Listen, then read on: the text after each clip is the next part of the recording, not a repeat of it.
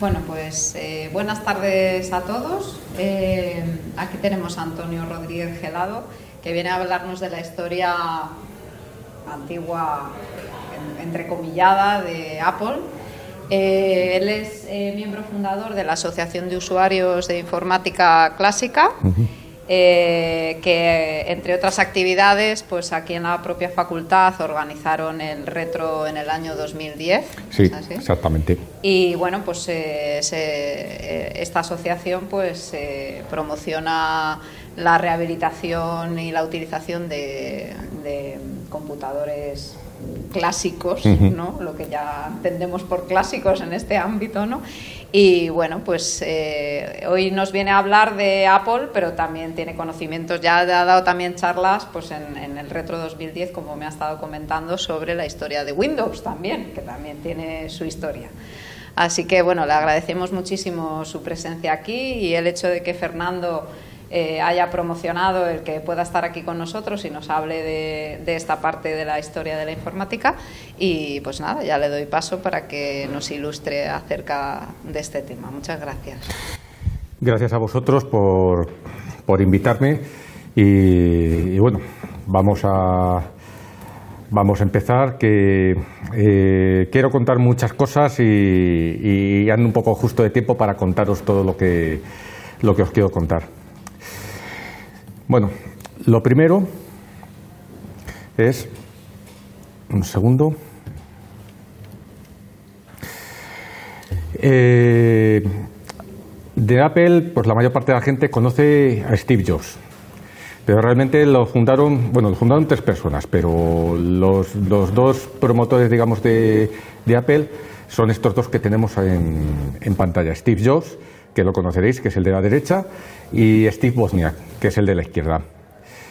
Eh, ¿quiénes, ¿Quiénes son estos señores? Pues bueno, voy a hablar primero un poco de, un poco de ellos. Voy a empezar por Wozniak,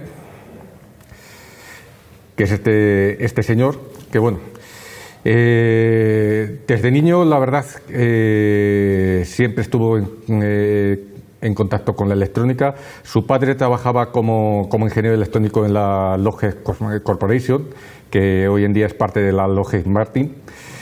Eh, perdonad mi inglés porque no, no, es precisamente bueno, pero, pero bueno, eh, espero que, por lo menos consiga, consiga hacerme entender con vuestra, con vuestra ayuda. Eh, y bueno, pues desde niño él cuenta que, su padre pues le dejaba jugar con, componentes electrónicos y le empezaba a explicar en términos muy sencillos lo que hacía cada uno de ellos. O sea, que es algo que, mm, lo vivió en casa desde, desde muy temprana edad.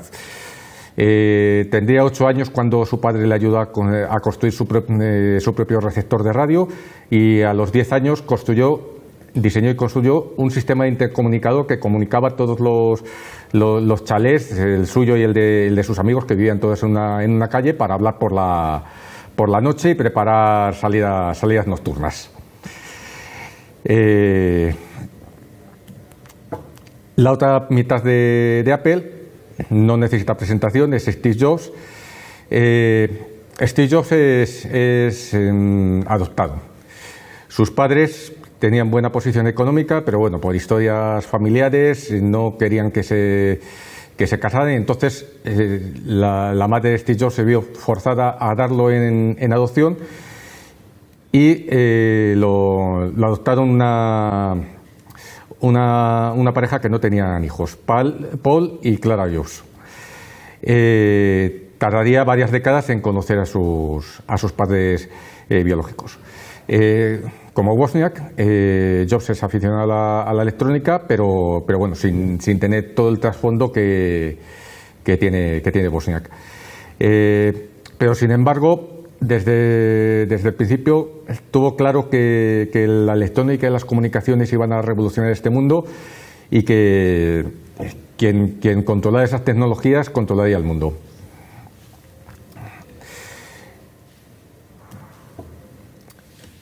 Aquí tenemos a, eh, Bill Fernández, un amigo de Steve Wozniak, y eso que tenéis ahí, que tiene en su mano, es el primer ordenador diseñado por, por Bosniak. Es, esta, hasta donde yo sé, es la única fotografía que hay. Eh, Bosniak, aficionado a la electrónica, eh, diseñó en, en 1971 un ordenador basado en circuitos integrados discretos. Todavía creo que cuando, cuando hicieron esto ni siquiera se había presentado el 4004 de Intel, o sea, no existía el microprocesador directamente.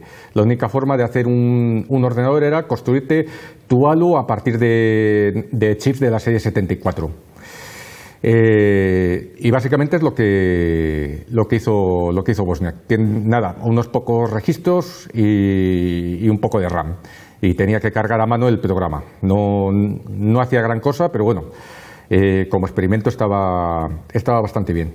Entonces, a raíz de construir este, este pequeño ordenador, eh, Bill Fernández le dice, oye, mira, que hay un, hay un chaval que está estudiando en la misma, es más joven que tú, está estudiando en el mismo instituto que estudiaste tú y tal, y también le gusta la, la, electrónica y, bueno, pues yo creo que haríais buenas migas y tal.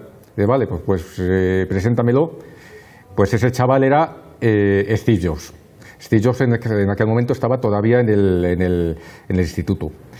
Y bueno, hicieron bastantes buenas migas, le aparte de gustarle la electrónica, le gustaban la, eh, la misma música y bueno, empiezan a... ¿Sobre qué año era eso? En el 71, esto es en el 71, cinco años antes de fundar Apple.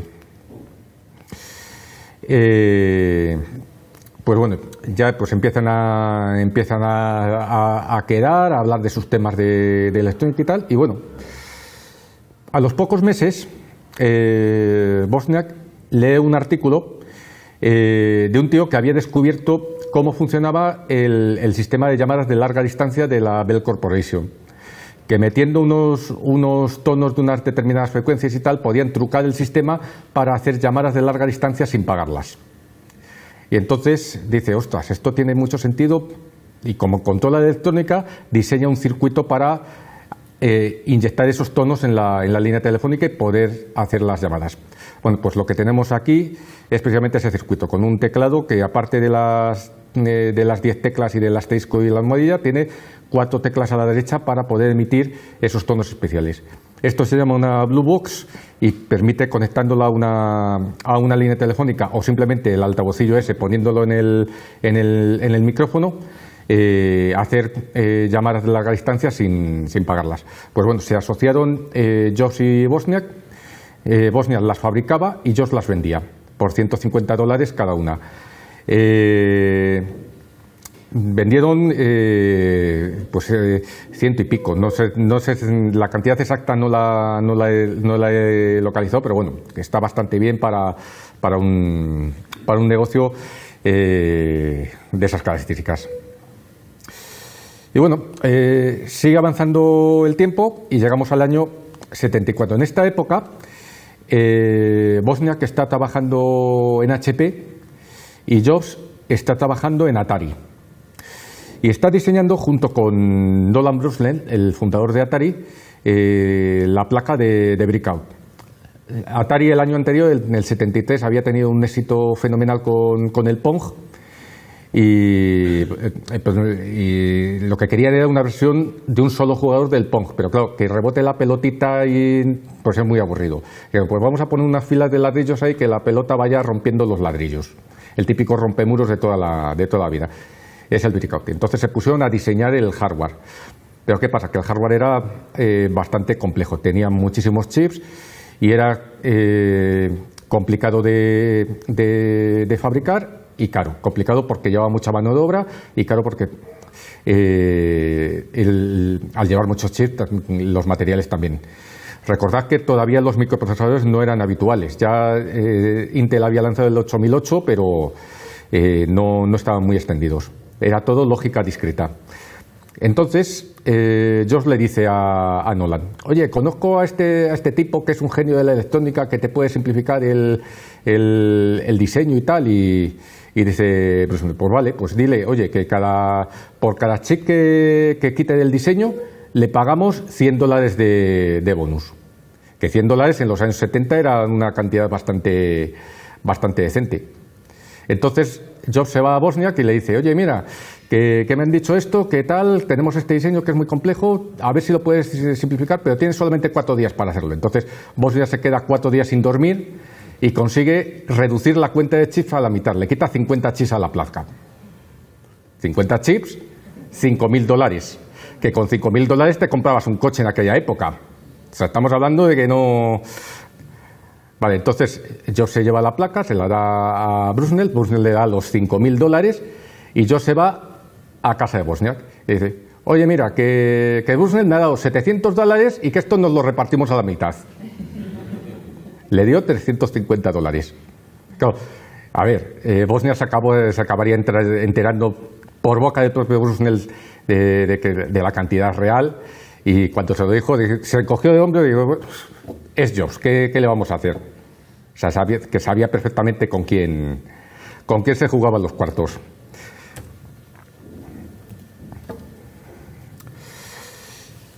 Y bueno,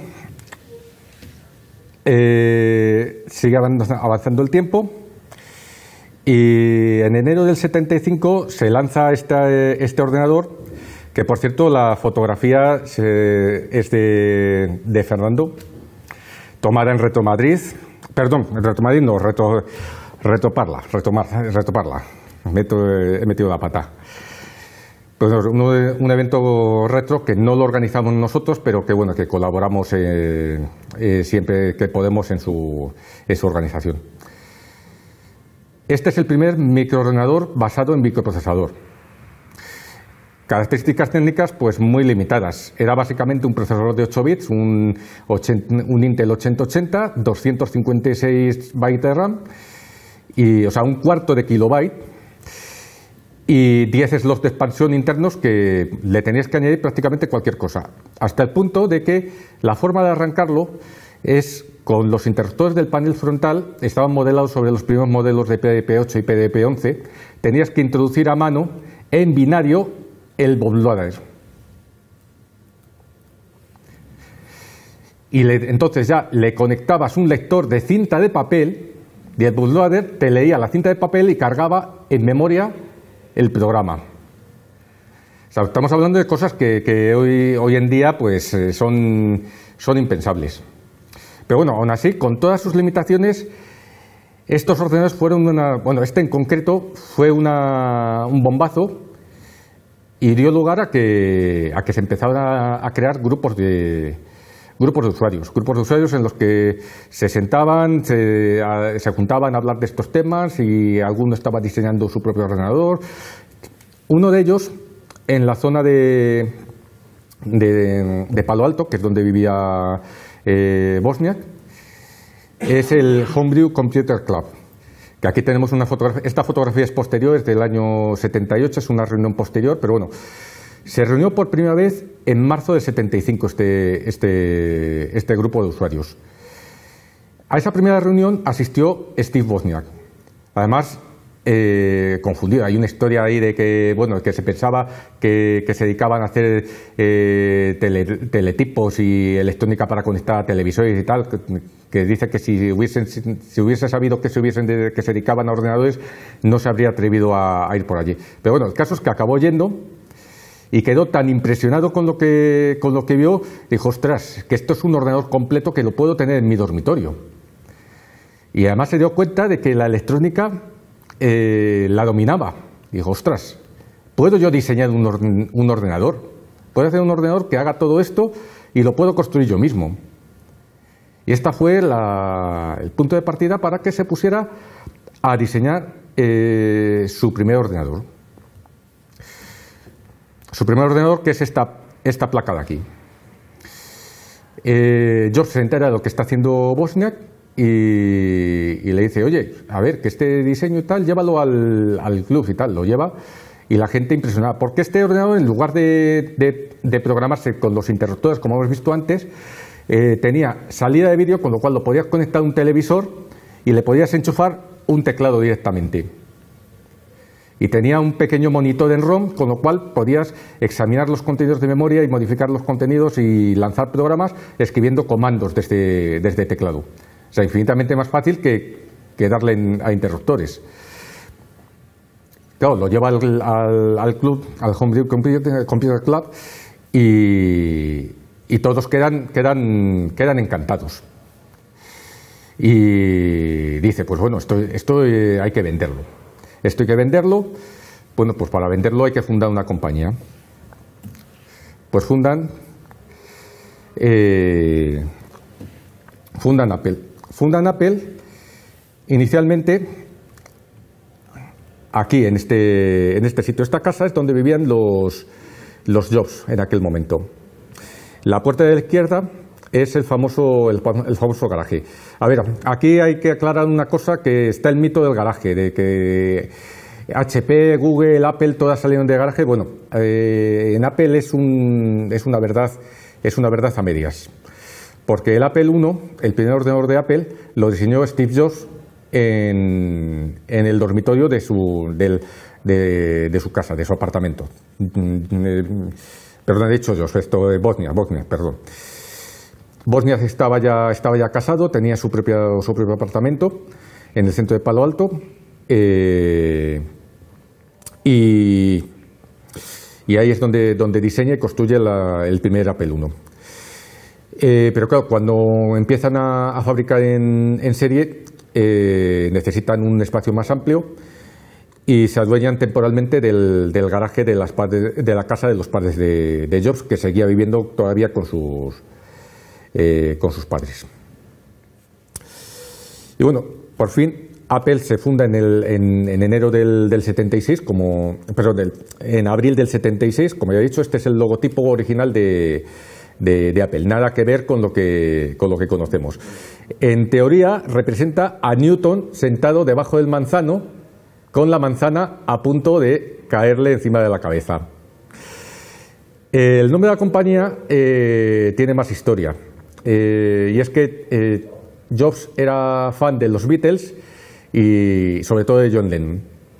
Y nombró a su compañía como honor a Apple Corps, la, discográfica de los, de los Beatles. Los Beatles, pues bueno, por historias, fundaron su propia discográfica para gestionar los derechos de autor de sus, eh, de sus discos. Pero bueno, eso ya es otra, otra historia.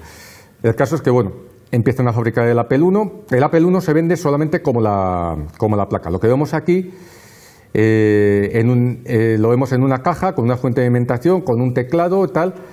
Apple solamente vendía la, placa. Lo que pasa es que muchas tiendas de informática compraban la placa del Apple I y encargaban sus cajas de madera artesanales y lo vendían en un kit con el teclado, con la caja y con la fuente de alimentación. Por eso veréis, si busquáis por internet, Mm, fotos de Apple I con cajas de formas diferentes, porque eran totalmente artesanales. En total se vendieron unas 175 unidades de Apple I, de las cuales hay un registro oficial, se sabe que existen 91. Puede que existan alguna más, pero no se tienen, no se tienen controladas. Las demás, pues se considera que la mayor parte de ellas, pues probablemente se hayan, se hayan perdido. Bueno, pues eh, con el Apple I en venta, eh, Bosniak se pone, a la, se pone manos a la obra para diseñar el eh, sucesor. Apple I, pues el siguiente, Apple II. Y Bosniak lo que dice es, bueno, diseñé el, breakout para, para Atari en hardware, ahora quiero poder escribirlo en software. Y entonces coge como base el Apple I y le añade las características necesarias para poder ejecutar Breakout en software. Le añade gráficos en color, además un modo de gráficos de baja resolución que son bloques que cada ladrillo del juego es un, es, eh, un, píxel, entre comillas. Eh, le añade sonido, le añade entrada de, entrada de juegos. O sea, la mayor parte de las características del Apple II vienen marcadas por el deseo de Bosniak de eh, implementar el, breakout en, en software. Eh, aquí, bueno, hay hubo una pequeña pugna entre Josh y, Bosniak, porque el Apple I tenía solamente un slot y Bosniak quería meterle más slots al, Apple II. Y Josh le dijo, ¿para qué le vas a meter muchos? Y dos, pues, dos son suficientes. La gente, como mucho, va a querer eh, ponerle una impresora y un modem al ordenador. No va a querer nada más. Y Bosniak, no, vamos a ver, que la gente va a hacer cosas que ni siquiera se nos ocurren. Al final ganó ganó Bosniak y como podéis ver ahí el, ordenador tiene 8 slots de expansión, aparte de ser expandible fácilmente a 48K eh, directamente en placa base con el grupo ese de, 24 chips que hay en el centro de imagen rodeados de, un rectángulo blanco. Esa es la, memoria. El Apple II sale a la venta eh, en, el, en, abril del, del, 76, perdón, del 77, justo un año después de salir el, el Apple I. Aquí lo vemos en una configuración típica con un monitor, los controles de, juegos y un magnetófono de cassette. Inicialmente no tenía, eh, no tenía disquetera, pero sí que se vendía eh, ya con una, con una caja que simplemente llevarlo a casa, enchufarlo al televisor y enchufarlo a la corriente. O sea, si os fijáis, vamos avanzando en facilidad de uso. Además ya venía con el Basic en ROM, con lo cual no había que, andarlo cargando cada vez que, que encendías el ordenador. Eh, bueno, eh, estas características las comparte con otros dos ordenadores presentados en el mismo, en el mismo evento en, abril del 77. Aquí tenemos a la izquierda el Commodore PET, en el centro el Apple II y a la derecha el Tandy TRS-80. Eh, los tres son considerados la, terna de 1977 y comparten que son ordenadores ya pensados para eh, que te los lleves a casa y enchufarlos y empezar a utilizarlos directamente. Vienen con el Basic and ROM, vienen con todo lo que necesitas para, utilizarlos, con manuales. Y, bueno, diferencias entre los tres. El Apple II era el más caro de los tres, además con bastante diferencia, el doble de precio, pero también es el más expandible con mucha diferencia. Los otros dos venían solamente con 4K de, memoria y no tenían slots de expansión. El Commodore PET ni siquiera le podías ampliar la memoria. No tenían modo gráfico ninguno de los dos, el Apple II tenía gráficos en color. El Apple II tenía los ocho, los ocho slots, los otros no tenían. Y claro, la gente pues esto lo ve y dice, ostras, a ver, si entre 1.200 dólares en una máquina que, que, no puede hacer más que lo que, lo que me venden y 2.000 dólares entre una máquina que luego la voy a poder ampliar, al final es el Apple II el que acaba, el que acaba vendiendo más y con bastante, con bastante diferencia. Y bueno, eh, aquí tenemos el logotipo de, Apple con el lanzamiento del Apple II. Eh, Apple cambia su logotipo, en, parte porque el anterior, lo habéis visto, era muy complicado, muy poco identificativo, se, se, se identificaba muy malamente y aparte necesitaban un logotipo nuevo en color para comunicar que su ordenador tenía gráficos en color. Para decir, oye, que nosotros somos, somos diferentes.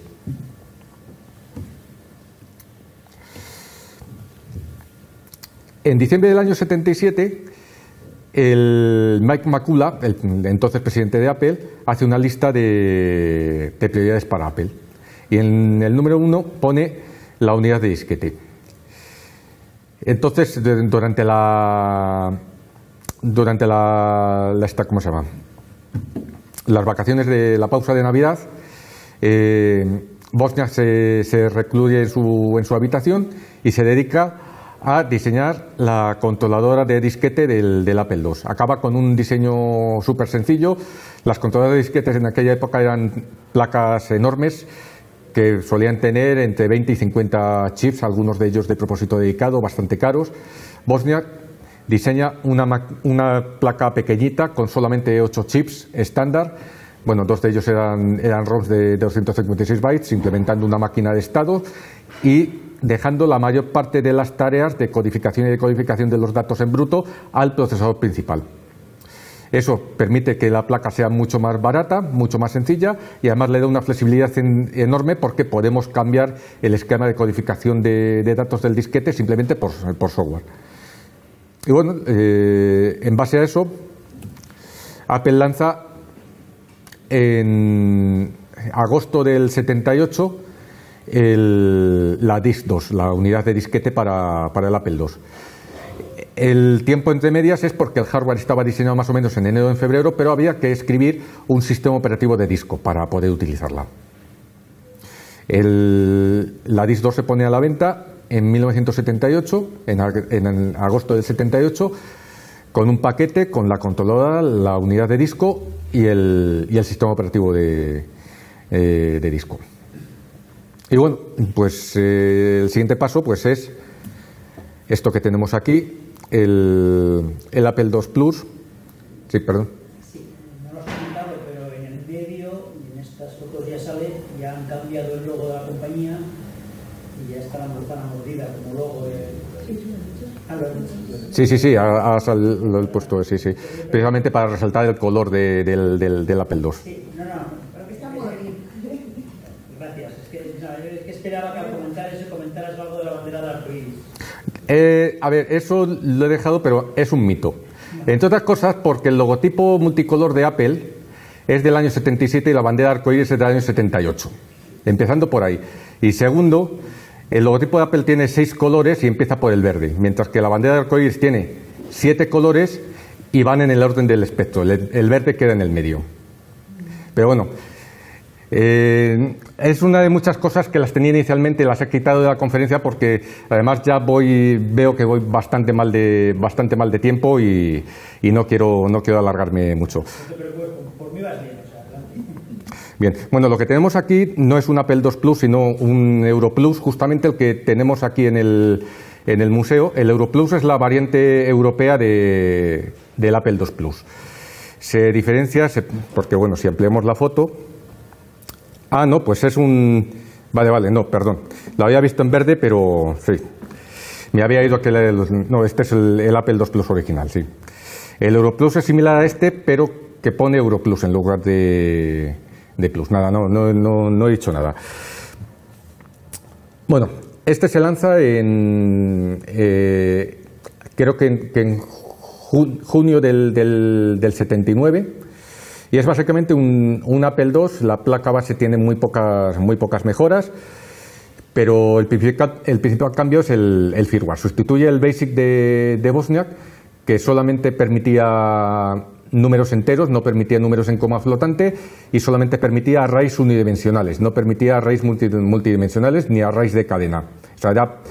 Era un intérprete muy rápido, pero con muchas limitaciones. Pues lo sustituyen en ROM por el Microsoft Basic, que es un poco más lento, pero es más de propósito general y es muchísimo más, muchísimo más flexible. Incluye también la, lo que se llama la, la ROM Au- AutoStart, que detecta automáticamente si hay una mm, controladora de disquete ins- insertada y entonces al encender el ordenador, si la detecta, arranca automáticamente desde el disquete, lo cual nuevamente es una, un aumento en la facilidad de uso. Simplemente basta con abrir la disquetera, meter el disquete, cerrarla y encender el ordenador. Ya nos carga el programa o el juego que, que hayamos metido. No tienes que teclear ningún comando, no tienes que hacer absolutamente nada.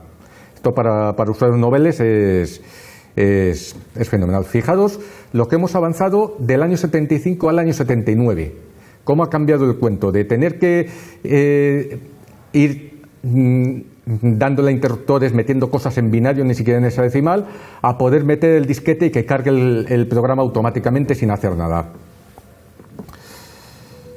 Bueno, pues el Apple II Plus se presenta a la vez que el programa que vemos aquí en la, en la pantalla del monitor.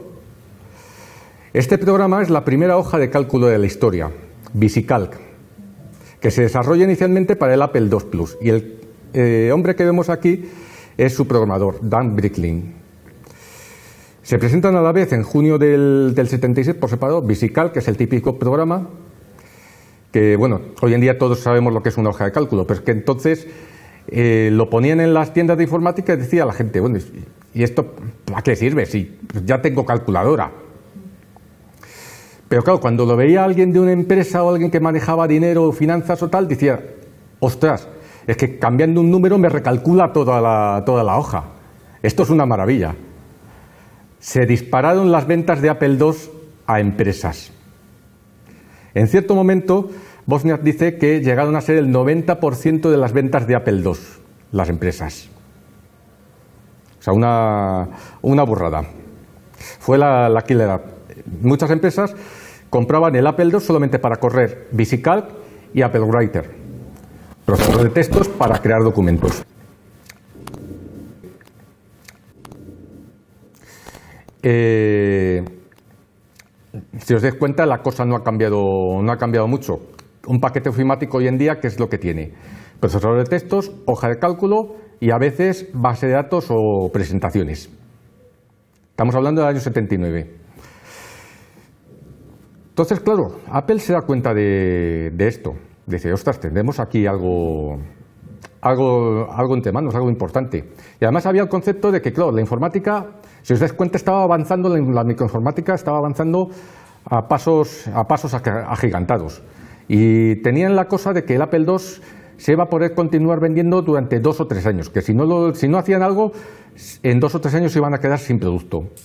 Entonces, en el año 79 lanzan eh, dos proyectos de, desarrollo. Bueno, aquí vemos un anuncio de, Apple II. Eh, ahí en, la cocina de la casa, eh, en un entorno totalmente doméstico, conectado a un televisor doméstico. Estaba, además, el Apple II estaba pensado para que no para que no desentonara con el resto de los electrodomésticos, al contrario, al contrario que los, que, los otros dos ordenadores, el, sobre todo el PET, eh, aquí no habría quedado demasiado, demasiado bien. Pero bueno, si, os fijáis, los gráficos que, hay en el monitor eh, ya están un poco vendiendo la, la, idea de que lo podemos utilizar para tareas medianamente serias en, en casa. Y bueno, eh, se lanzan dos proyectos de, desarrollo, eh, Sara y Lisa. En aquella época, Apple llamaba a los, a los, estos, a los proyectos como por los nombres de hijas de, ingenieros del equipo de, desarrollo. Sara es un proyecto a más corto plazo, es una máquina de, de 8 bits orientada a negocios eh, con 128K de RAM ampliados a 256, que da una burrada en el año 79, gráficos de 560 por 192 en 16 colores, texto 80 columnas y un sistema operativo muy flexible, con soporte de disco duro y subdirectorios. Eh, para que os hagáis, una idea, el PC de original eh, MS2 1.0 no soportaba disco duro ni subdirectorios. Eh, además era compatible con, el Apple II mediante un modo de, compatibilidad. Lo lanzan en septiembre de 1980. Pero el problema es que el ciclo de desarrollo, si os das cuenta, se empieza a desarrollar a finales del 79 y en septiembre del 80 ya se está vendiendo. El ciclo de desarrollo ha sido tan corto que no habían podido eh, probar prototipos. Y la mayor parte de los ordenadores de la primera tirada vendidos fallan. O sea, tiene una tasa de fallos elevadísima. Apple responde enseguida, reemplaza los ordenadores eh, que tenían problemas, rediseña el ordenador para, eliminar los, eh, los, defectos, pero no sirve de nada. El daño ya está hecho, la gente eh, tiene mala imagen del, del Apple III y que es como se acaba llamando la, máquina. Y, bueno, pues las ventas nunca, nunca llegan a ser gran cosa y vuelve a vender el, vuelven a dispararse las ventas del, del, Apple II una vez más. Mientras tanto, Apple sigue empeñada en vender el Apple III y cancela varios intentos internos de mejora del, del Apple II. El Apple II eh, se está vendiendo el 2 Plus, en concreto, se está vendiendo entre el año 79 y el año 83, durante cuatro años, sin ni una sola mejora. Porque Apple estaba dedicando todos sus esfuerzos a que la gente comprara el Apple 3. Cuando ya por fin eh, Apple se da cuenta de que, el Apple 3 no vaya a ningún sitio y permite eh, mejorar el, el Apple 2, y saca el, el 2E en, el 83, ya es demasiado tarde porque el 2E eh, ya no, no, tiene la ventaja competitiva que tuvo el, el 2 Plus en su, en su momento. Pero bueno, aún así seguía vendiendo bastante por la base, de, la base instalada y porque era el microordenador con mayor eh, colección de, de software, además con bastante, con bastante diferencia. Aquí bueno, vemos el, Apple IIe con la unidad de disco doble y el monitor que se diseñó para, para él. Básicamente la caja sigue siendo la misma que la del, la del Apple II Plus. Y bueno, en el año 81, en agosto en concreto, IBM lanza el PC. ¿Por qué lo menciono aquí?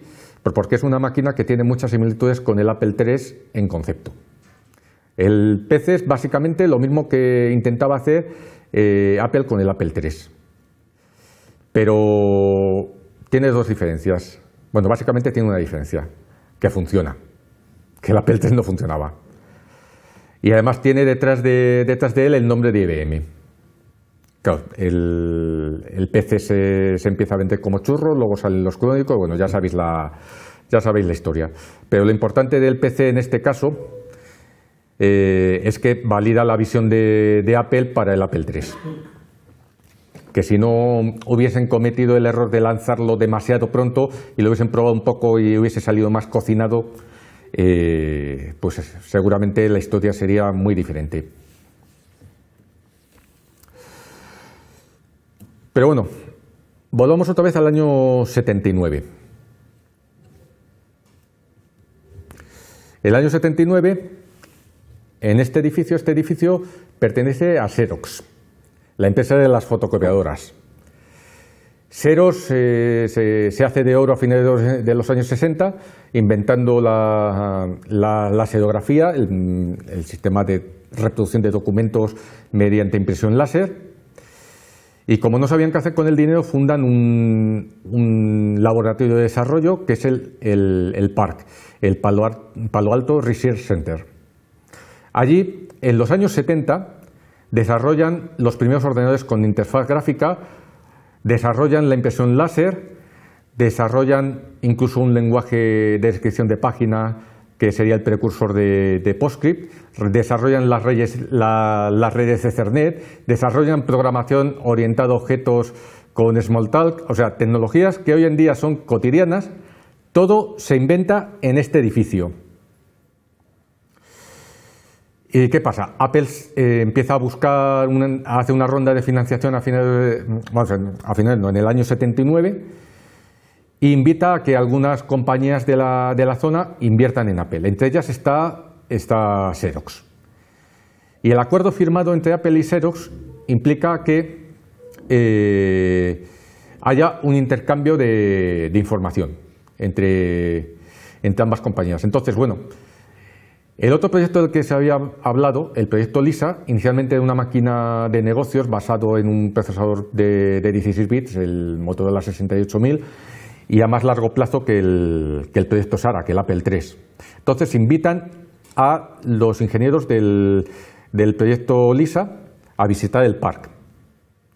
Hacen dos visitas, conocen el, el Star, la primera estación de trabajo con interfaz gráfica y lo que ven es totalmente revolucionario y les abre los ojos.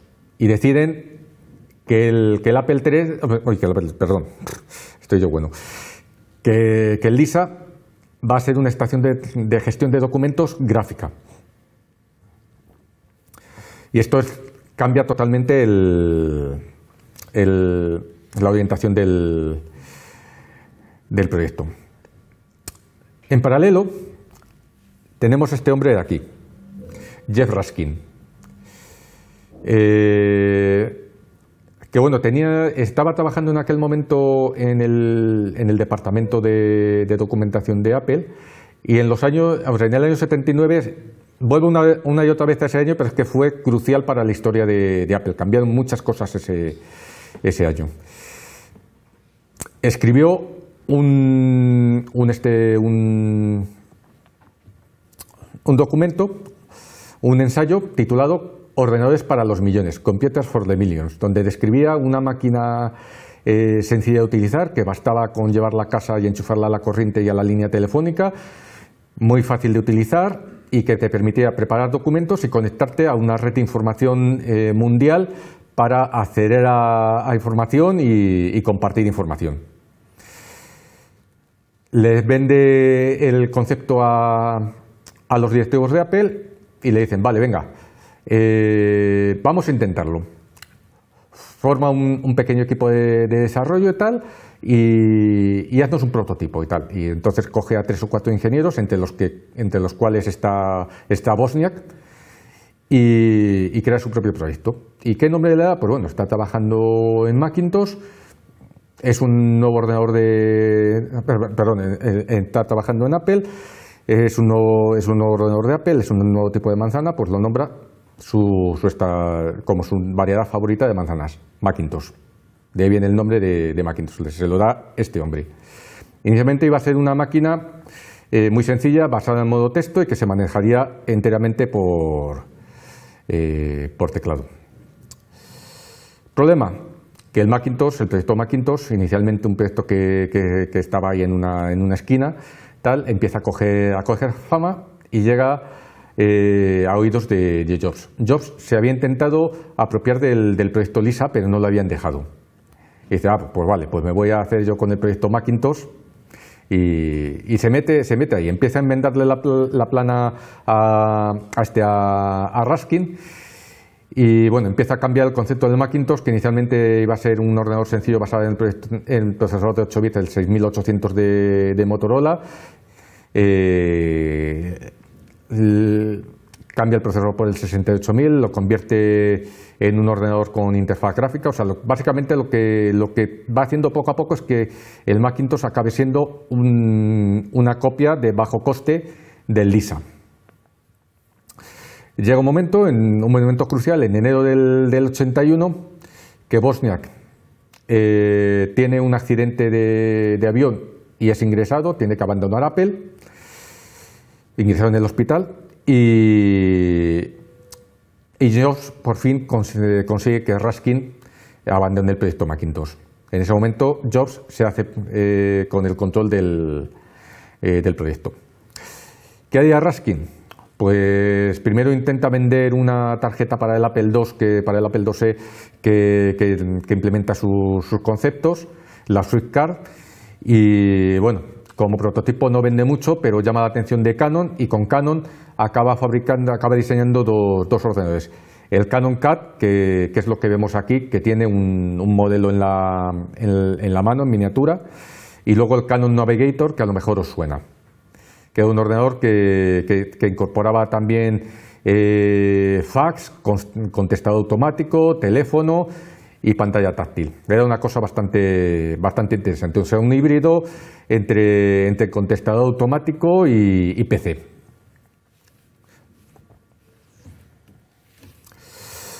Bueno, el Lisa sigue, sigue avanzando. Aquí lo que estamos viendo es un, es un prototipo de, de Lisa, justamente. Eh, el teclado y el ratón son de, la época de producción, pero lo que, lo que hay detrás, la pantalla y la placa base, son realmente de, la época de, desarrollo.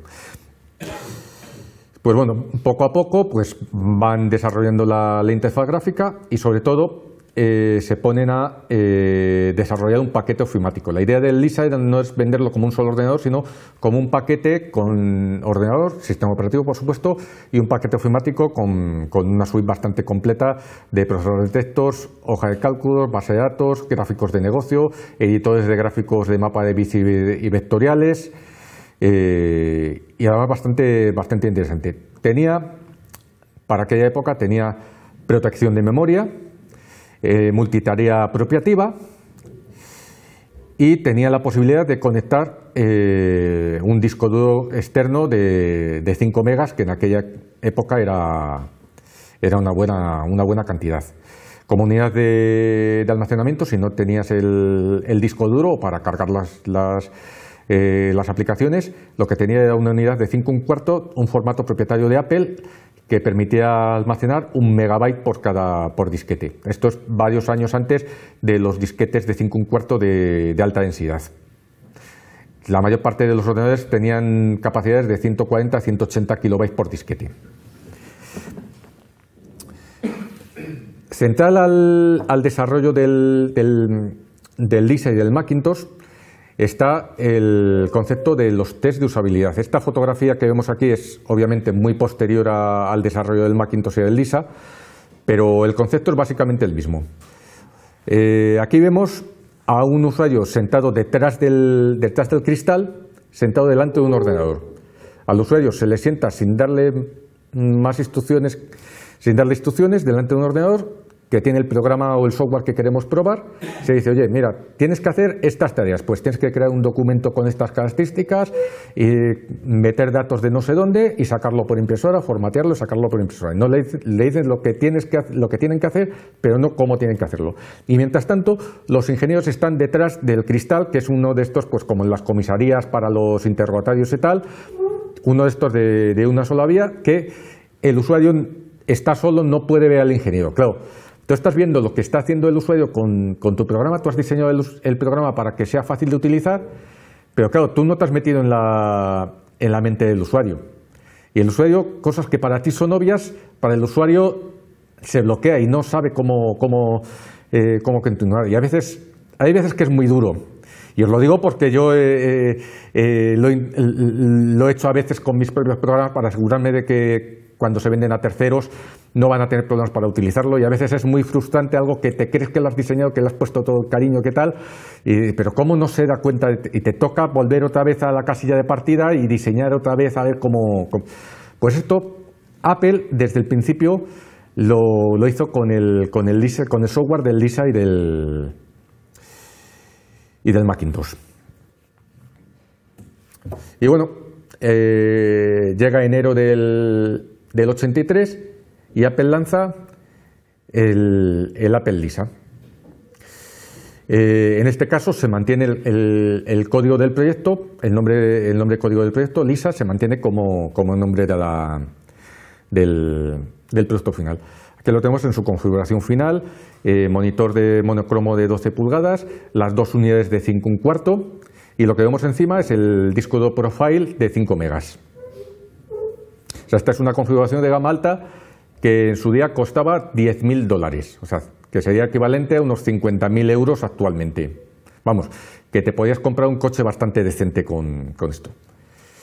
Y bueno, el ordenador funcionaba bastante bien, pero eh, tenía dos, dos, problemas, aparte del precio. El primero es que la suite ofimática era maravillosa, era revolucionaria para la época, pero no había software de terceras partes. Entonces, bueno, te gastabas 10.000 euros en un ordenador que, o sea, perdón, 10.000 dólares en un ordenador que eh, solamente podía hacer lo que podía el software que venía con él. Otro problema es que las unidades de 5 un cuarto estas eran bastante poco fiables. Entonces, si no te comprabas el disco duro, tenías que utilizarlas para almacenar los datos en ellas y fallaba, eh, perdías datos con bastante, con bastante asiduidad, algo que, es imperdonable en una máquina de este, de este rango. Entonces, pues bueno, pues es una máquina que, sí, que tiene sus puntos fuertes, pero que nuevamente pasa un poco lo que con el Apple III, que no, no, termina, no termina de cuajar. Hay quien dice que, que bueno, que más que eh, un, un, ordenador fallido fue un experimento exitoso, porque bueno, como experimento no está, no está mal. El Macintosh todavía estaba en, desarrollo, le quedaría un año para, salir.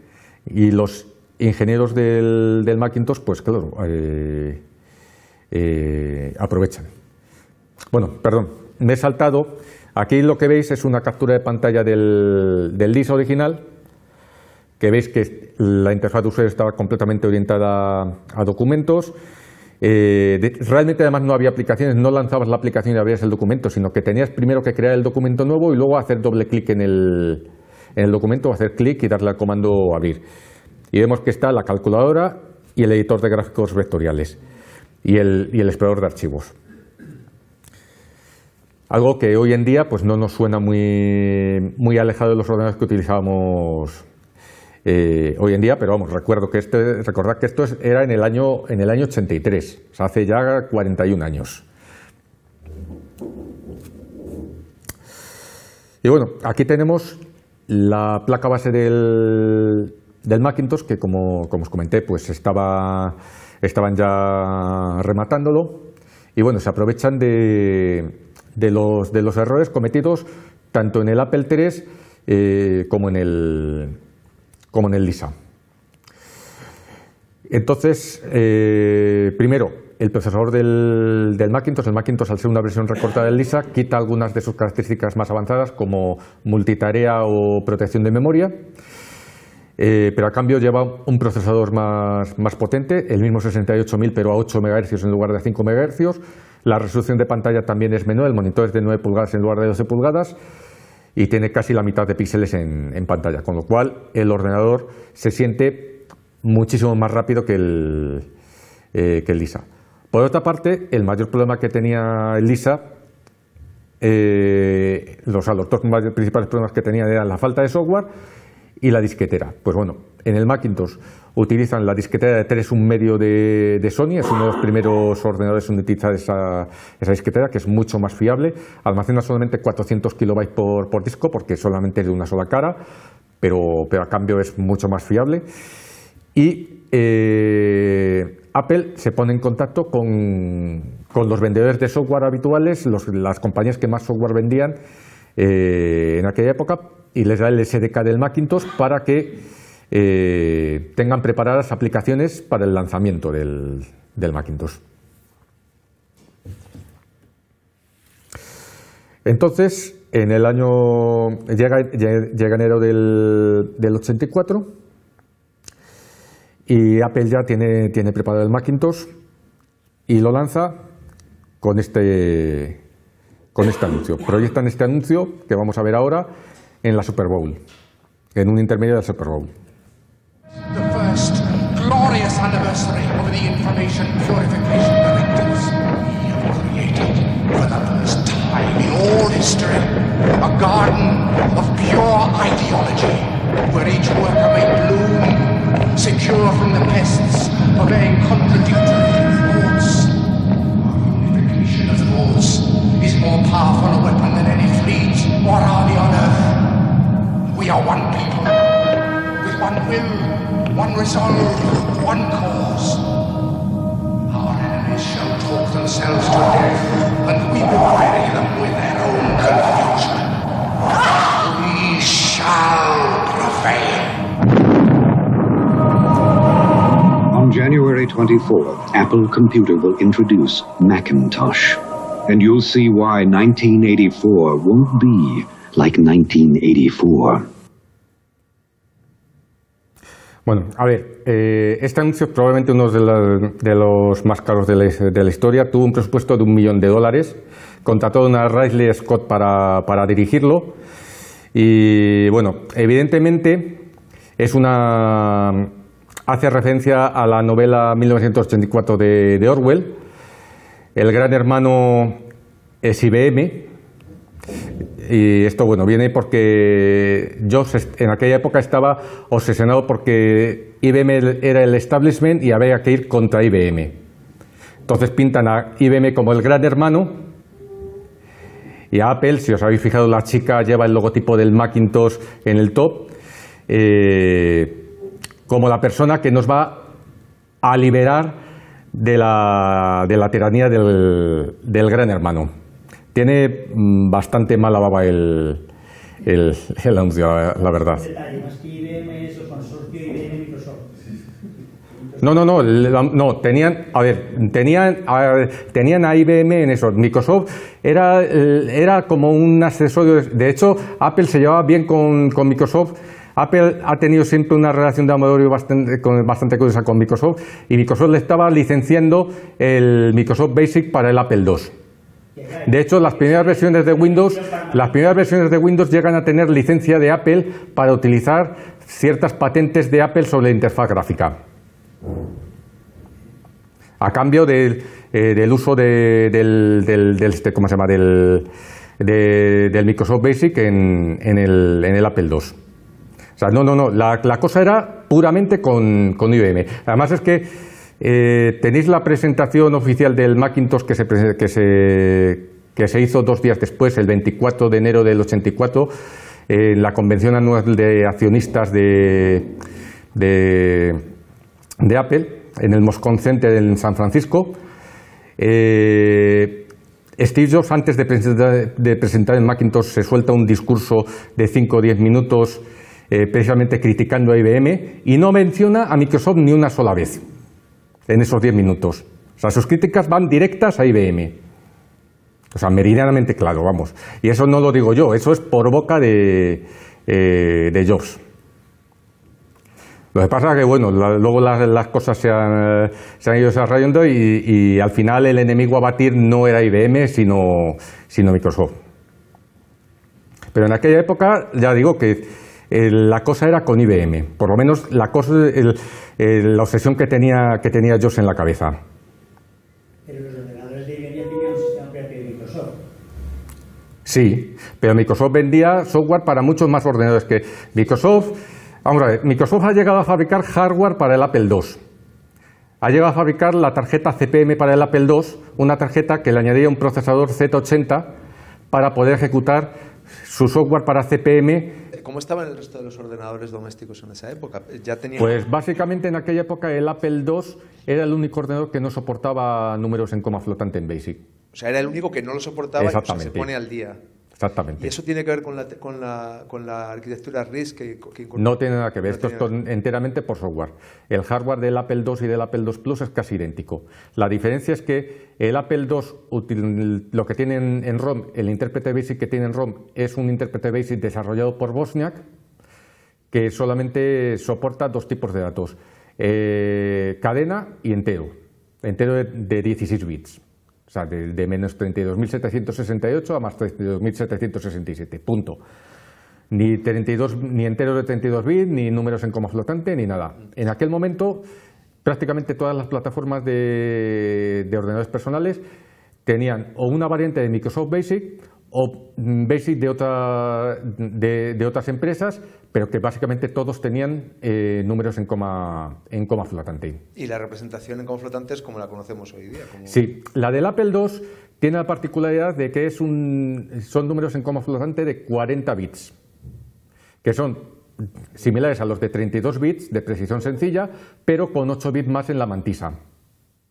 O sea, el formato es casi idéntico al, formato IEE de, 32 bits, pero con, 8 bits más de mantisa, lo cual le da dos dígitos más de, precisión. De hecho, el Microsoft Basic para 6502 está publicado el código fuente, tenía el código fuente en ensamblador, tenía opciones de compilación para emplear eh, números flotantes de coma flotante de 32 o de 40 bits. Era una, era una opción de ensamblado.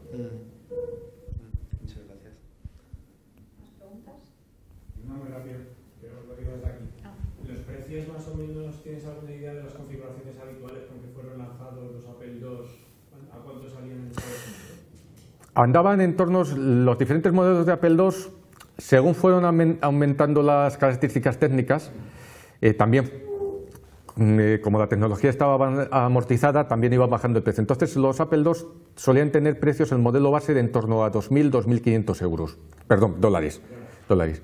Y el Macintosh original eh, se estuvo diseñando desde el primer momento para tener un precio de, lanzamiento de 2.000 dólares, justo por debajo en 1995 y esto es una historia triste porque para financiar la campaña de publicidad de, lanzamiento del Macintosh, el Consejo de Administración de Apple decidió en el último momento subirle el precio a 2.445 dólares, 500 dólares de golpe, eh, para financiar la campaña, de, la campaña de publicidad. Y claro, se sintieron estafados los, el equipo de desarrollo porque habían sufrido mucho para recortar costes. Esto lo cuenta Andy Herfel precisamente en folklore.org y Revolution in the Valley. Con Next, unos años después, también hicieron un esfuerzo para que la cosa fuera relativamente barata y luego al final cuando empezaron a venderlo lo vendían por 5.000 o 6.000 dólares, era una fortuna, era muchísimo más también de lo que lo habían anunciado al principio. sí, bueno, lo que pasa es que el NES todavía tenía una explicación porque era una estación, mm, era una estación de trabajo medianamente eh, asequible de lo que llamaban entonces 3Ms. Un megapíxel de, imagen, un, megabyte de, de, memoria y un megaflot de potencia de proceso. Que el primer Macintosh 128 queda muy por debajo de cualquiera de los tres parámetros.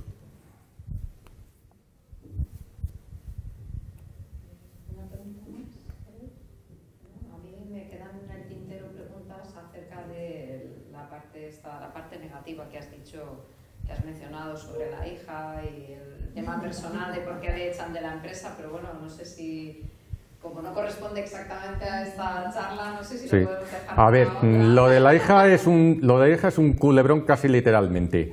Eh, Josh le, iba mucho el tema, el tema hippie, entonces justo antes de, de fundar Apple estuvo en Oregón en una en, una comuna que tenían unos frutales y tal. Hay otra teoría que dicen que el nombre de Apple viene de los manzanos que tenían en esa, en esa, en esa comuna. Entonces, pues bueno, ahí pues, pues bueno, eh, tenía una, una, pareja que se quedó embarazada de, él y de él nació Lisa. Eso coincidió justo con, el, con la vuelta de, de Josh a California y la fundación de, Apple. Entonces, eh, Jobs se desentendió de esa hija, sencillamente porque no le convenía las cosas como son. Bueno, casi igual como sus padres con él, más o menos.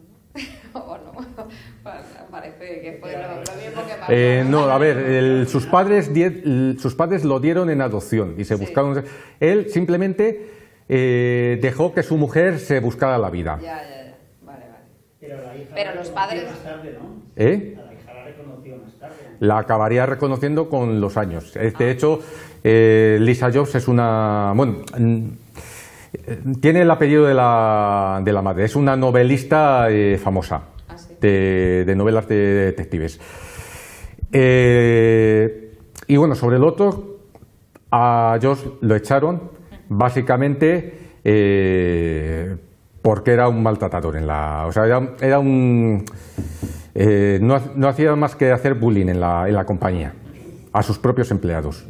Entonces llegó un momento que buscó un enfrentamiento entre los equipos de Macintosh y de Apple II, eh, los picaba entre sí, les decía, ah, estos de Apple II no tienen ni idea, estos no, son unos perdedores, el Apple II va a estar muerto, nosotros estamos construyendo el futuro, patatín y patatán. Llevaba peleas que llegaron a las manos incitados por Josh. Claro, eso llega un momento, es John Scully, el presidente de, Apple en ese momento, que había venido de, presidente de, Pepsi, eh, le, dio dos o tres toques de, atención, pero ellos no cambiaba de... Y al final tuvieron que apartarlo del proyecto. No lo, no lo echaron de, Apple, sino básicamente le dejaron con el sueldo que tenía, pero lo mandaron a, una mesa en el sótano, básicamente. Y, entonces se largó. tiempo Wozniak, que, estuvo después del accidente de avión, en el año 82 eh, volvió a la universidad a terminar sus estudios de, ingeniería electrónica, volvió a Apple y en el año 85 eh, se incorporó al equipo que diseñó el Apple II GS, la versión de 16 bit del, del Apple II. un comentario lo que acabas de decir del hombre. para complementar lo que acabas de decir, es que Apple había crecido muchísimo. Sí, sí, sí, a ver. Entonces, mm. Crecer tanto es cuando deciden contratar a John Scala el de PepsiCo para precisamente que gestione bien la compañía. Y entonces, claro, una cosa es la gestión empresarial de una compañía grande, de acuerdo con alguien que es experto en eso, y otra cosa es lo que opina Steve Jobs de cómo llevar la compañía. Exactamente. Entonces hay un enfrentamiento entre el que contratan para llevar la compañía y el dueño de la compañía que quiere llevarla de otra forma, aparte de sus actuaciones bastante infantiles dentro de... Exactamente. no, no, no, vamos a ver. hay unos enfrentamientos a todos los niveles, hacia arriba, hacia abajo, hacia los lados, y al final... Vamos a ver. A Josh lo despiden sencillamente porque su comportamiento no era adecuado para la empresa, punto. O sea, no, no, hay, no hay vuelta de hoja. Exactamente. De hecho, es que se da la paradoja de que es Jobs quien elige a dedo a Scaley. Se le acerca un día y le dice, eh, ¿quieres ayudar al futuro del mundo o vas a, a seguir vendiendo agua azucarada toda la vida? Se lo dijo así literalmente. Y claro, encima Jobs encima se larga de Apple muy dolido de que eh, para él siempre decía que Scully había sido como un padre, como un padre para él y tal, y, se, marcha con mucho rescomor. Y la campaña de publicidad del, eh, por todo el alto del, Next es sencillamente porque Jobs quería destruir a Apple.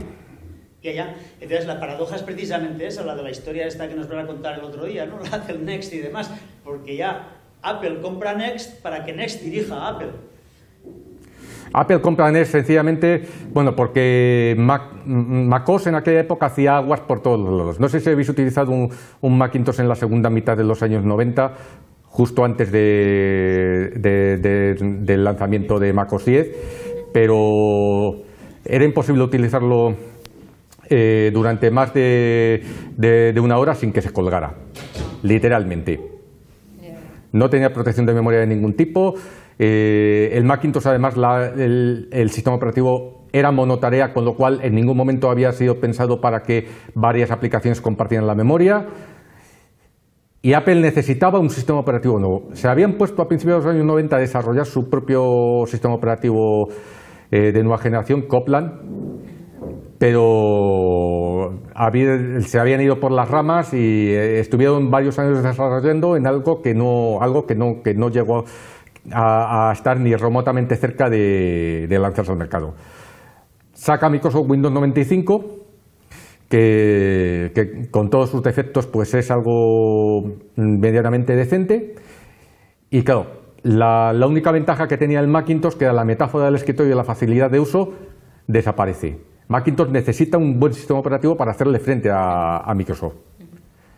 Y necesita comprarlo. Y entonces empiezan a barajar. Y eh, no solamente barajan eh, Next, sino que se estuvieron planteando comprar BEOS. No sé si lo, si lo conocéis, si lo recordáis. Pues bueno, era otro sistema operativo Ah, se daba un área a Unix, pero no era, no era un sea, era otro sistema operativo con interfaz gráfica tipo Next. Y bueno, ahí Apple se estuvo planteando y al final cogió Next por comprar el, sistema operativo y bueno, ya de paso, pues reincorporar a, a, a la, a la compañía.